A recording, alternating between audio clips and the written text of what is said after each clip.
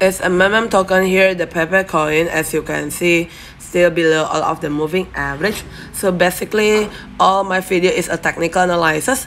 So if you are trying to find the fundamental analysis, don't go to my video. And we're gonna go see here if the price is still below all of the moving average. It confirmed totally downtrend line with there is a stochastic natural position here. The daily chart basically also having a cross here.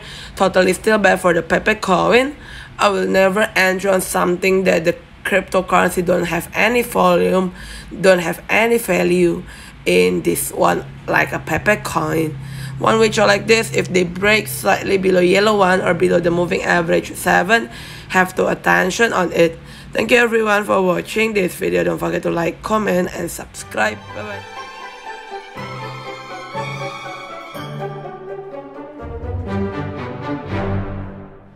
It's a meme token here, the Pepe coin, as you can see, still below all of the moving average. So basically, all my video is a technical analysis. So if you are trying to find the fundamental analysis, don't go to my video. And we're gonna go see here if the price is still below all of the moving average. It confirmed totally downtrend line with there is a stochastic natural position here. The daily chart basically also having a cross here. Totally still bad for the Pepe coin. I will never enter on something that the cryptocurrency don't have any volume, don't have any value in this one like a Pepe coin. One which are like this, if they break slightly below yellow one or below the moving average 7, have to attention on it. Thank you everyone for watching this video. Don't forget to like, comment, and subscribe. Bye bye.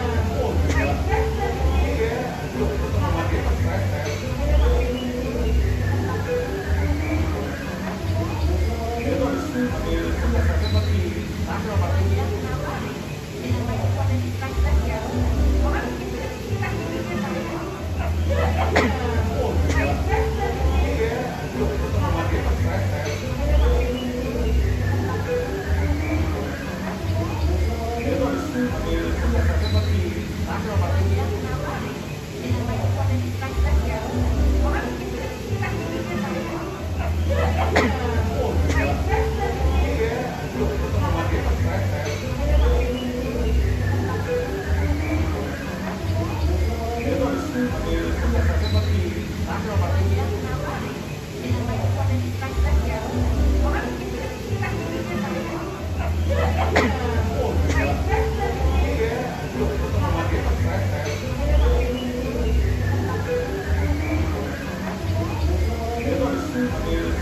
Thank you.